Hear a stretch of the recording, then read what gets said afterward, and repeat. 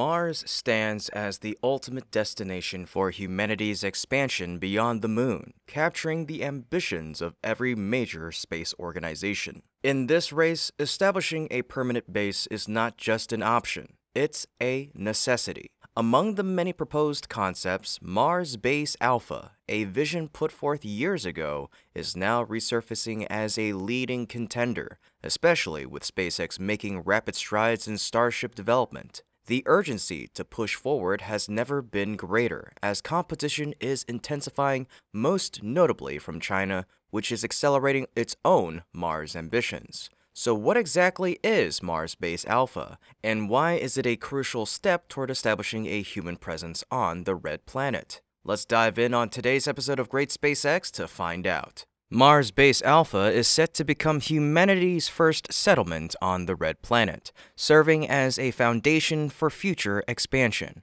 This ambitious project will play a critical role in establishing fuel and energy production systems, making long term human presence on Mars possible. At the heart of this effort is SpaceX's Starship, which is designed to transport both people and cargo to the Martian surface, ensuring the success of this groundbreaking mission. To construct Mars Base Alpha, SpaceX will first need to send at least two Starship cargo missions to pre selected locations on Mars. These sites must be strategically chosen, preferably at lower altitudes below 40 degrees latitude, to maximize solar energy efficiency and proximity to water ice reserves. The presence of water is essential for producing vital resources, such as oxygen and fuel, which will be crucial for sustaining human life and supporting future missions. The first phase of Mars Base Alpha's construction will rely heavily on robotic systems to scout and extract resources. These autonomous machines will map the terrain, identify optimal building sites, and begin the initial steps of infrastructure development. Once crewed missions arrive, potentially with teams of 10 to 20 astronauts, SpaceX will construct power plants to generate energy for the base. These facilities will also produce liquid methane and liquid oxygen, the primary propellants for Starship. Using Mars's abundant carbon dioxide and water ice through in situ resource utilization. 3D printing technology will be a key enabler in this phase, allowing rapid on site construction of essential components and structures. During the early stages, astronauts will likely live inside the Starship itself before the base is fully operational. Given the spacecraft's spacious interior, offering approximately 1,100 cubic meters of habitable space, crews will have enough room to live and work comfortably for extended periods. Future Starship iterations, such as the anticipated V3, would provide even greater capacity, enabling a larger crew to endure the harsh Martian environment for months at a time. Once the main structures of Mars Base Alpha are completed, the crew will transition from the Starship to the newly built habitat modules. These facilities will include radiation shielding, dust mitigation systems, and specialized shelters for both personnel and equipment. Additionally, designated landing zones will be established to accommodate arriving spacecraft. Over time, the base will gradually expand, laying the groundwork for a fully self sustaining Martian city capable of producing its own energy, fuel, and food. When the Mars Base Alpha concept was first proposed, an initial timeline for uncrewed and crewed missions was outlined. However, due to shifting priorities and technological advancements, those timelines have evolved. Musk now anticipates that the first uncrewed Starship mission to Mars could occur within the next two years, sometime between late 2026 and early 2027. If progress continues at its current pace, subsequent cargo missions could follow shortly after, delivering essential materials for base construction. The first crewed missions are expected to launch within four years after that, likely around late 2028 or early 2029. At this stage, astronauts will begin the critical task of assembling Mars Base Alpha with the goal of achieving operational status by 2030. To ensure these ambitious targets are met, SpaceX is making rapid strides in Starship development. The company has already successfully landed the Super Heavy booster twice, and a similar milestone for Starship itself is expected soon an essential capability for Mars landings. SpaceX has also demonstrated the ability to reach space and will soon refine crucial mission elements such as in space engine relighting and payload deployment. Perhaps most importantly, orbital refueling, critical for deep space missions, is scheduled for testing later this year, bringing Mars missions closer to reality. With all these advancements, Mars Base Alpha is no longer just a vision. It is becoming an increasingly achievable goal. But what do you think? Can SpaceX bring this project to life within the next decade, or do you have other ideas about how humanity should approach Mars colonization? Share your thoughts in the comment section down below, and don't forget to like the video and subscribe if you haven't already for more updates on SpaceX's journey to Mars.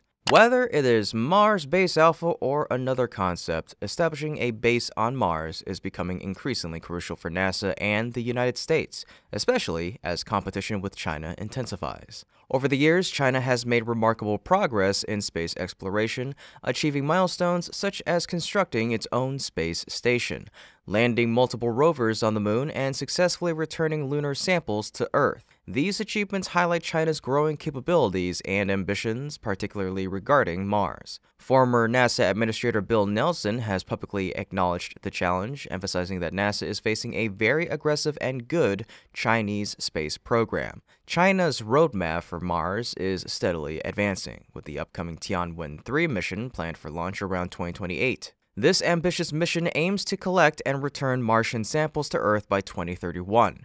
It follows the success of Tianwen-1, which landed the Zhurong rover on Mars in 2020, and Tianwen-2, scheduled for launch this year. Meanwhile, NASA's Mars sample return program is encountering significant obstacles, with costs escalating and schedules slipping. In response, NASA has been actively seeking ways to streamline the project, calling for proposals to reduce costs and accelerate progress. However, the results so far have been less than promising, raising concerns about the program's feasibility. This growing urgency underscores why SpaceX and the United States must act decisively to establish a presence on Mars. If Musk's predictions hold true, Starship could reach Mars well before China's sample return mission.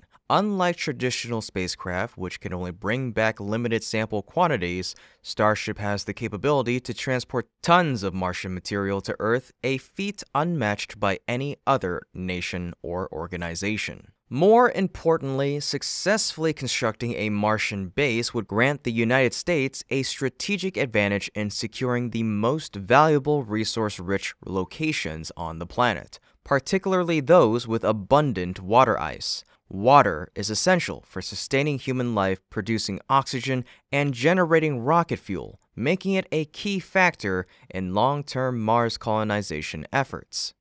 While both the US and China possess unique strengths and challenges, the competition for Mars will unfold over the coming decades. However, before that race intensifies, the moon will serve as the first battleground for space dominance. NASA has already made significant progress in lunar exploration, successfully completing the Artemis 1 mission and preparing for Artemis 2 in 2026. The real focus, however, will be on Artemis 3 and subsequent missions, which will involve crewed landings on the moon using SpaceX's Starship human landing system and later Blue Origin's lunar lander. These missions will target the moon's south pole, an area believed to contain significant water ice deposits that could support human life and fuel production. In preparation for lunar base construction, NASA has been conducting a series of robotic lander missions. Last year's efforts were followed by the recent Blue Ghost mission, and upcoming missions like IM-2 and Griffin will further explore the presence of water ice. These initiatives will lay the groundwork for establishing a long-term human presence on the moon. China, following a similar strategy, has also set its sights on the moon's south pole. The country has already demonstrated its capabilities by successfully landing rovers on both the near and far sides of the moon, as well as retrieving and returning lunar samples. These achievements provide a strong foundation for China's lunar ambitions, which includes sending astronauts to the moon around 2030 and beginning construction of a lunar base within the following five years. If all goes according to plan, China's moon base could be operational by 2035. While NASA currently holds a lead in this race, maintaining that advantage requires continuous progress. SpaceX's rapid development of Starship and Starship HLS will be instrumental in achieving these objectives. One of the most crucial technologies needed for success is in orbit refueling, which will enable missions to the Moon and Mars by allowing Starship to carry larger payloads and travel greater distances. This system is expected to undergo testing later this year, marking a significant step forward in deep space travel. To streamline lunar base construction, SpaceX has proposed an innovative strategy, transforming Starship itself into a mobile base. This approach could significantly reduce costs and logistical challenges, providing a competitive edge for the US over China in the race for lunar dominance. The rivalry between the US and China in space is intensifying, and whether it's on the moon or Mars, competition will drive technological advancements and ambitious missions. With strong support from SpaceX, NASA must continue making bold strides to secure leadership in this new era of space exploration. Shifting focus to our final piece of news today, significant updates are emerging regarding Ariane 6 in Europe. Arianespace is currently preparing for the upcoming launch of Ariane 6, which they are touting as the vehicle's first commercial mission. The rocket is set to launch the CSO 3 re reconnaissance satellite on February 26th, marking a crucial milestone following its debut flight last July. David Cavaillolès, the new CEO of Arianespace, has expressed confidence in the future of Ariane 6, stating, This marks the start of the Ariane 6 operating phase, and it's an honor to open this new era for Arianespace. Cavaillolès took over leadership after former CEO Stéphane Israël stepped down in January. Arianespace has ambitious plans for Ariane 6, aiming to conduct five launches this year alone. Cavaillolès further emphasized, We have a very steep ramp up plan. This year, we target to achieve five flights of Ariane 6, the first one being in February, and then we want to reach our target cadence as soon as possible. By target cadence, I mean between 9 and 10 launches per year. While these goals are impressive, achieving them will be a significant challenge. The debut flight of Ariane 6 encountered several technical issues, and details regarding the extent of these problems remain scarce. Additionally, the upcoming mission originally scheduled for last year has already faced delays, raising concerns about whether Arianespace can maintain the ambitious launch cadence they envision.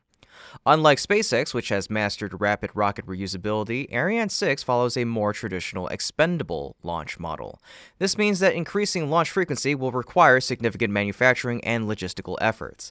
Given these factors, it remains uncertain whether Ariane 6 will be able to achieve five flights this year, let alone 10 per year in the future. For now, the primary goal for Arianespace should be to successfully demonstrate Ariane 6's reliability and performance. If the upcoming mission proceeds smoothly, it'll mark a crucial step forward for Europe's space ambitions. However, in terms of competing with major players like SpaceX, significant advancements will still be needed in the coming years. With so many developments unfolding across the space industry, from the moon and Mars race between the US and China to Europe's push with Ariane 6, the future of space exploration is more exciting than ever.